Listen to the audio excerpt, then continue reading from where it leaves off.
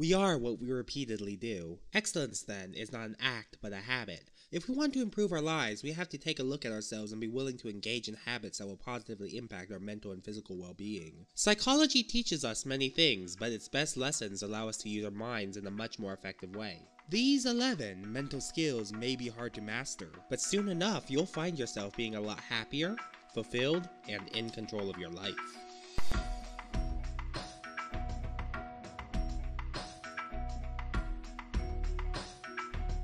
Number 1 Mindfulness. Mindfulness is a type of meditation that is becoming very popular these days. This mental skill allows us to live in the moment, appreciate everything in our lives, and truly listen to our inner thoughts and desires. It also includes being mindful and attentive of the feelings of others, allowing us to practice sympathy and truly connecting with our peers. Number 2 Mentalization. Mentalization is sometimes described as thinking about thinking. We can use mentalization to understand the root cause of certain behaviors, whether those behaviors are our own or someone else's. In many cases, understanding why we think and act in certain ways is massively helpful. This technique helps us address the sources of our insecurities and weaknesses. Number 3. Public Speaking. Speaking in front of a crowd isn't for everyone, but in our lives, we will definitely be interacting with a variety of people, and you'll want your voice to be heard in a sea of them. Public speaking often helps with our careers, our overall sense of self confidence, and our ability to convince others. There are many ways we can improve our public speaking, such as specialized courses or simply repeated practice. Number 4 Heuristics.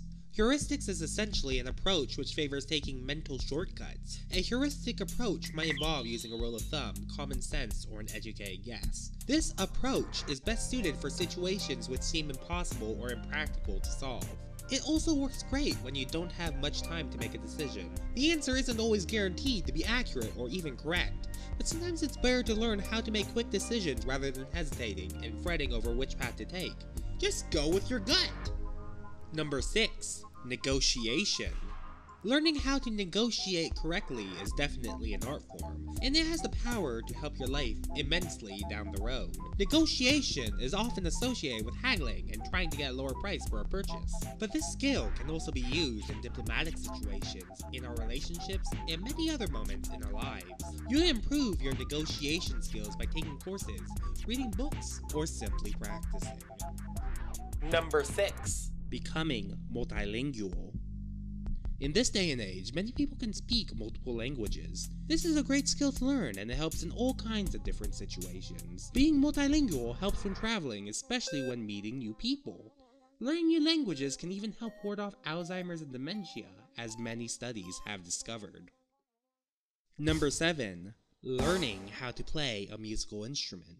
Music has amazing effects on the brain, and learning how to play a musical instrument comes with all kinds of unique benefits. As a musician, you'll have a wonderful creative outlet, but you'll also enjoy reduced stress, higher levels of happiness, and increased self-confidence, to name but a few.